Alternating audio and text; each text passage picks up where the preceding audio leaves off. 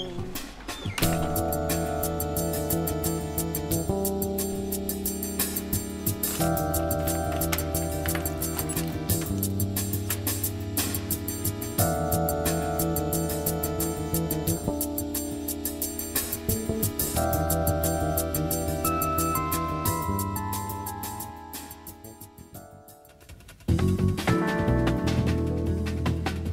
Nakon izglasavanja ovog novog zakona o stanovanju, gde je jasna, jasno naznačeno da upravnik, sad upravnik, sad upravnik umjesto predsednika, stambene zajednice umjesto skupštine stanara a, može bude jedino vlasnik stana. I ja sam mislio da ja više onda ne mogu da bude predsednik i mi smo isto bili na, doneli odluku da izaberemo profesionalnog upravnika, sva, ja sam do, dobio nekoliko ponuda, komšije su isto dale ponude i na toj skupštini stanara za profesionalno, za ponude za profesionalnog upravnika,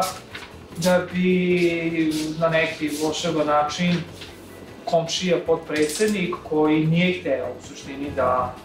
imamo profesionalnu upravu, jer niko, dakle, stvarno je situacija dalje bila ta da niko iz, od stanara koji su i vlasnici stana nije hteo da preuzme odgovornost i da odgovornost upravnika ovaj,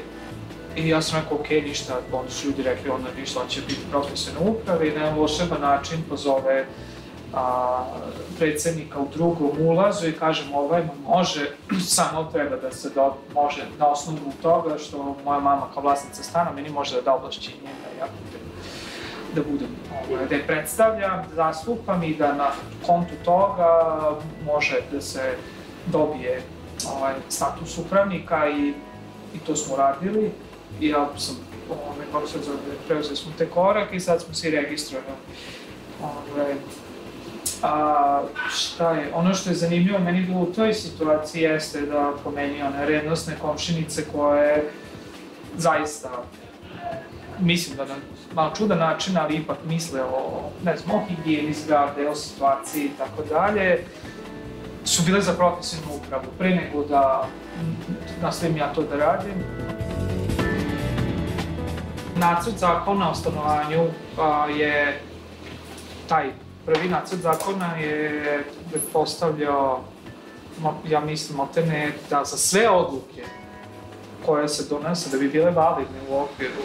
Skupštine stanara da bude 100%. Naravno, profesionalni upravnici, profesionalni predsednici Skupštine, oni su već postojali i pre ovog zakona. Najveći, baš u Novom Sadu je to poprilično razvijen biznis, razvijena, razvijena uslužna delatnost. Oni su prvi iskakali na javnim raspravama da da je nemoguće, oni su znali kakve situacije na terenu, oni su znali da oni jedva isto kupili komšije. Znači, meni je profesionalni upravnici, predsednici su rekli nema šanse. Profesionalno. E sad zamislite kada komšija pokušava da kupi svoje komšije, isto je teško i ja nikad nisam imao nijednom sastanku, nikad nije došlo više od 50%. Naplate, servisiranja nekih usluga. Znači, više se ne očekuju ljudi da se samo organizuju da urede stvari po svojoj meri, ne znam, težnjama, interesima i ovaj, nego se ispostavljaju stvari se profesionalizuju na području umetnosti, kulture,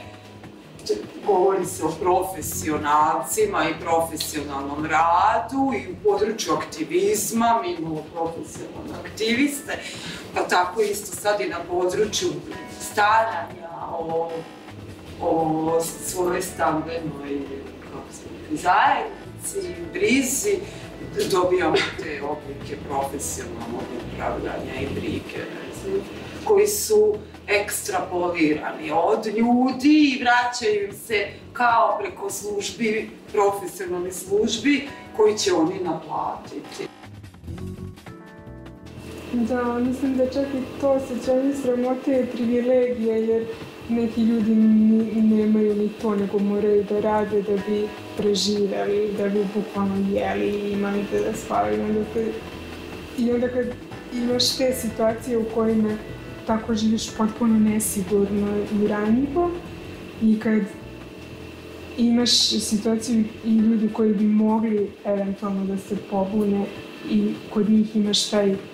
to je, ne znam šta, neki ideološki moment kad se stidiš, kad je nametnuto da, da si,